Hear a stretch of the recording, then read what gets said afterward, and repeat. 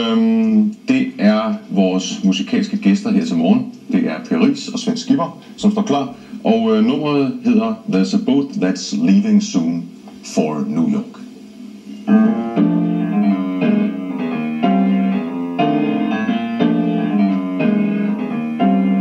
There's a boat that's leaving soon from New York.